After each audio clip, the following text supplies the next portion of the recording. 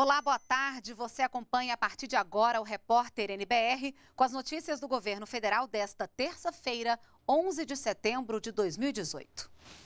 E a gente começa a edição de hoje indo direto ao Palácio do Planalto falar com o repórter Ney Pereira. Olá, Ney, boa tarde para você. Boa tarde, Renata. Boa tarde a todos. Olha, Renata, o presidente Michel Temer já, já esteve reunido hoje pela manhã com o ministro-chefe da Casa Civil, Eliseu Padilha.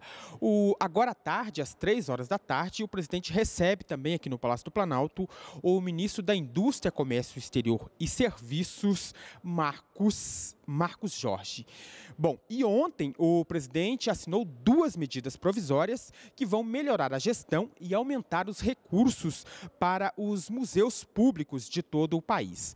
A Agência Brasileira de Museus ficará responsável pela reconstrução do Museu Nacional do Rio de Janeiro, que foi destruído por um incêndio, mas a instituição vai continuar fazendo parte da Universidade Federal do Rio de Janeiro. As duas medidas provisórias entram em vigor imediatamente imediatamente e têm força de lei, mas precisam ser aprovadas pelo Congresso Nacional para se tornarem definitivas. O repórter João Pedro Neto acompanhou a assinatura dessas medidas provisórias e tem mais detalhes. Vamos ver na reportagem.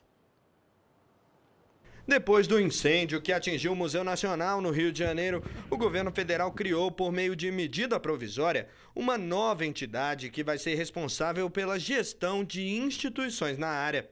A Agência Brasileira de Museus, a ABRAM, vai cuidar de 27 museus federais e seus acervos. Entre eles estão o Museu da Abolição, no Recife, o Museu Imperial de Petrópolis, o Museu da Inconfidência, em Ouro Preto, Minas Gerais, e o Museu Nacional de Belas Artes, no Rio de Janeiro. Outras instituições também poderão ser administradas pela agência a partir de assinatura de contratos de gestão. Segundo o ministro da Cultura, a Abram vai substituir o Instituto Brasileiro de Museus e terá à disposição o dobro dos recursos. Além disso, poderá contar com receitas geradas pelos próprios museus. A Abram ela terá uma fonte específica de, de recursos, é, ela terá 6% da contribuição prevista no artigo 8 da Lei 8.029 de 1990. E isso representa, comparativamente ao que o IBRAM tem hoje, mais do que o dobro dos recursos que vinham sendo disponibilizados no âmbito eh, do orçamento da União para esses museus e essas ações de promoção do desenvolvimento do setor eh, museal. A Abram terá status de serviço social autônomo e também vai promover ações de desenvolvimento no setor de museus. Foi criada ainda a Secretaria de Museus e Acervos Museológicos, que vai funcionar no Ministério da Cultura e passa a ser responsável pela gestão de políticas públicas na área. Outra medida provisória assinada pelo presidente Michel Temer define regras para a criação de fundos patrimoniais que vão arrecadar recursos privados doados por empresas e pessoas físicas para serem aplicados em instituições e projetos em várias áreas.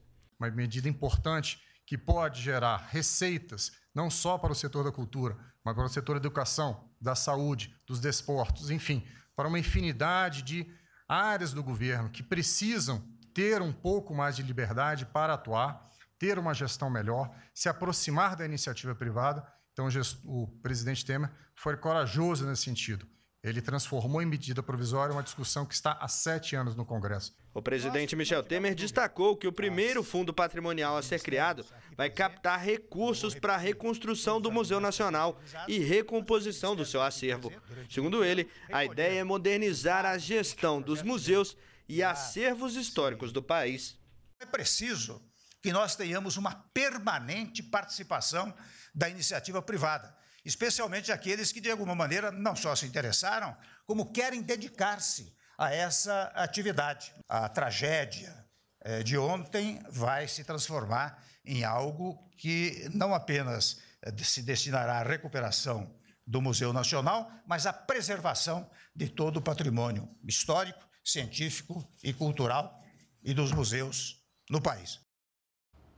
A Agência Brasileira de Museus vai passar a ser responsável pelas ações de reconstrução do Museu Nacional do Rio de Janeiro, mas a instituição segue como parte da estrutura da Universidade Federal do Rio de Janeiro. Lembrando que as medidas provisórias passam a valer de forma imediata e têm força de lei, mas precisam ser aprovadas pelo Congresso Nacional para se tornarem definitivas.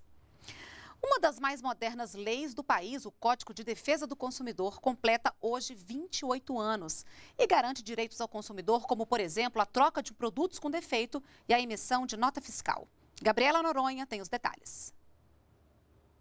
Hoje, terça-feira, o Código de Defesa do Consumidor completa 28 anos.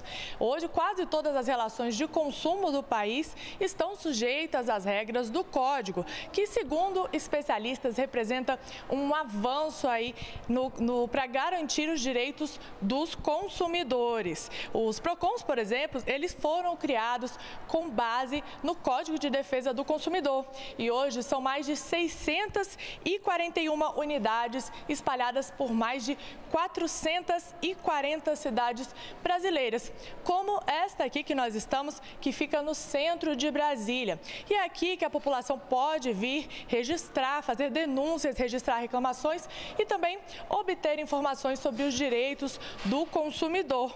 E vale lembrar também que o governo federal, também nesse sentido de garantir o cumprimento do código, disponibiliza uma página na internet, que é consumidor consumidor.gov.br. Na página é feita a interlocução direta entre consumidores e empresas para a solução de conflitos de consumo. A página é monitorada pela Secretaria Nacional do Consumidor, do Ministério da Justiça, pelos PROCONs, pelas defensorias, ministérios públicos e também por toda a sociedade. Atualmente, 80% das reclamações registradas no consumidor.gov.br são solucionadas pelas empresas, que respondem às demandas do consumidor em um prazo médio de até sete dias. Então, é uma boa opção aí também para garantir né, o cumprimento do Código de Defesa do Consumidor. De Brasília, Gabriela Noronha. A produção brasileira de grãos fecha o ciclo 2017-2018 com produção estimada em mais de 228 milhões de toneladas. Os números foram divulgados hoje pela Companhia Nacional de Abastecimento.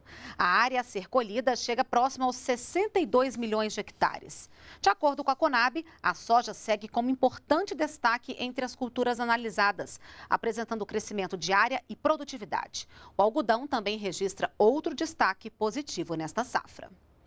E já a estimativa do IBGE para a safra nacional de grãos está em 226 milhões de toneladas. A previsão diária a ser colhida é de 61 milhões de hectares. Nós ficamos por aqui. Você acompanha nossa programação ao vivo pelo site da NBR e todas as reportagens estão disponíveis no nosso canal no YouTube. Acesse também o nosso perfil no Twitter. Uma boa tarde para você e continue com a gente aqui na NBR, a TV do Governo Federal.